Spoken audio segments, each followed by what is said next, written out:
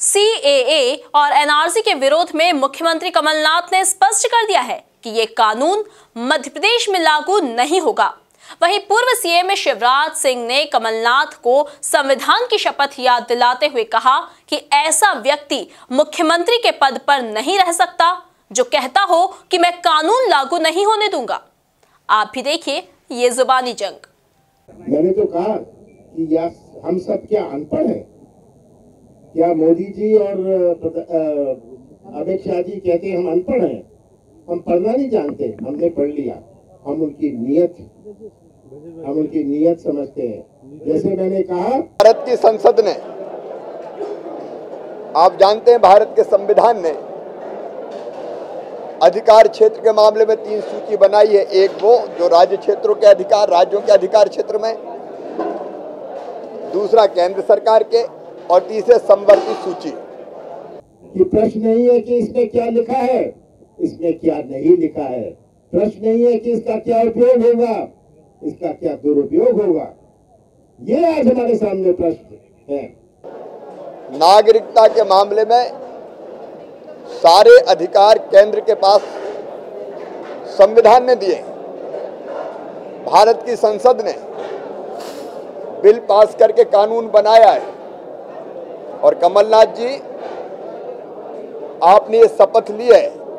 और इस प्रकार का कानून लाना, इस प्रकार का कानून लाना, मैं तो सब पत्रकार साथियों से कहूँगा कि अगली दफ़ा आप यहाँ बैठेंगे, मैं पूछूँगा कहाँ के नागरिक हैं, कोई सबूत है?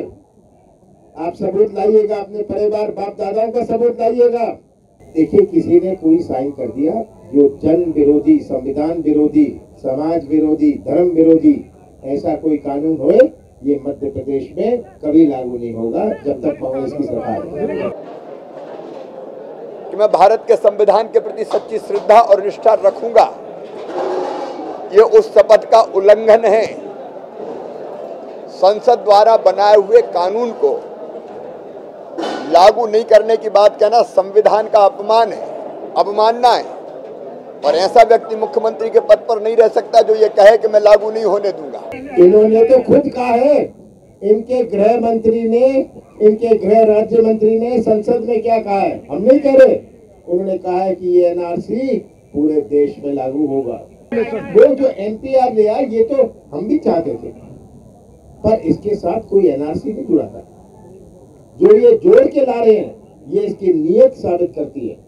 अलग एक साथ नहीं अलग अलग दिन में, जिस राज्य में, जिस ज़िले में, जिस दिन सुविधा होगी। और जो हमारे पंचायतों के कार्यक्रम है, वो 30 जनवरी तक चलेंगे, पूरे महीने चलेंगे। जनसंपर्क के कार्यक्रम भी जनवरी में पूरे महीने चलेंगे। मार्च के जो हमारे कार्यक्रम है, वो 15 जनवरी तक होंगे।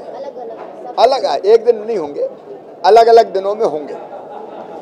हम चिंता कर रहे हैं कि जो नियत है, जो एनआरसी का लक्ष्य है, जो इसका अंदरूनी लक्ष्य है जो सीएबी का अंदरूनी लक्ष्य है, जो लक्ष्य टेबल के नीचे इन्होंने रखा हुआ है, टेबल के ऊपर ये जनता को जो गुमराने का प्रश्न कर रहे हैं। हर कानून में, हर कानून में सफ़ाई दे दी जाती है, ये होगा और ये नहीं होगा। ऐसा कानून जिसमें केवल लिखा ये होगा और क्या नहीं होगा